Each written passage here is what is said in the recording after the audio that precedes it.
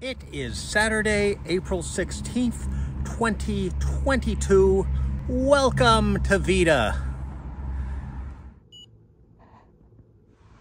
Oh, one thing I somehow forgot to mention yesterday was that when I was eight, my special interest of Batman was so all consuming that my third grade teacher actually forbid me from mentioning Batman in class.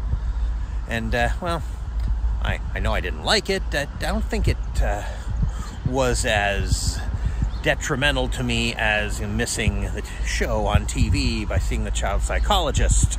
You know, it's still annoying, but I think he probably did the right thing. It was distracting, and it wasn't a huge deal. I mean, you know, just during class. I, mean, I could still mention Batman during recess, or lunch, or phys ed, or whatever, so it still didn't like it.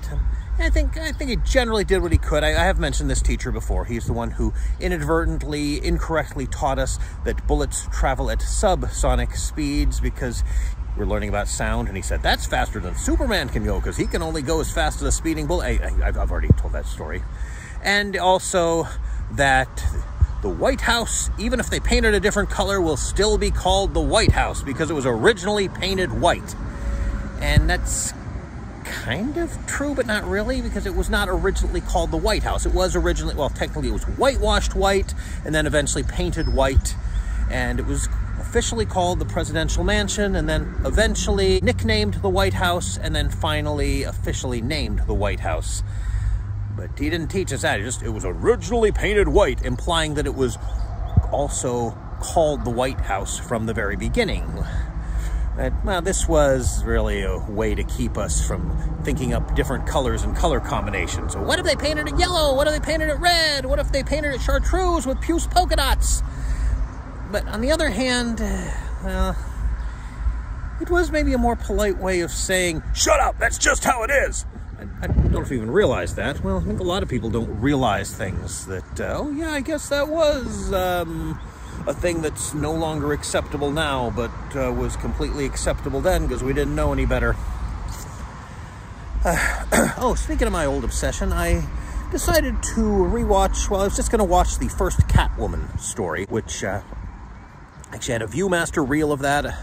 And I remember first time I watched it, this that I can recall, I somehow caught the first episode partway through, I think. So, um, I did eventually, when they started rerunning the series on FX, was able to catch the, in its entirety, and in fact, several other episodes. But I noticed, oh, wait a minute, that's the those are the um, third and fourth episodes on this disc. Let's start with the first two, and that was the False Face story, and I kind of wish I hadn't watched that. That um, some of these stories are still, well, they're still entertaining, especially if I view them as a satire. Unfortunately, um, a lot of them come across less as a parody and more as just bad. Although one interesting thing I noticed, I'd often complained that the henchmen, despite usually having names that were themed to either the villain or the crime, tended to be just credited as henchman number one, henchman number two. And actually, in the False Face story, they were credited as Midget, Tall Man, and Thin Man.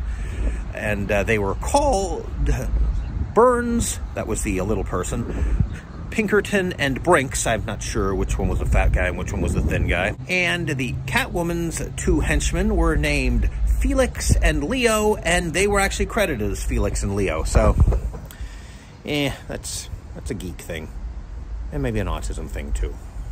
Both.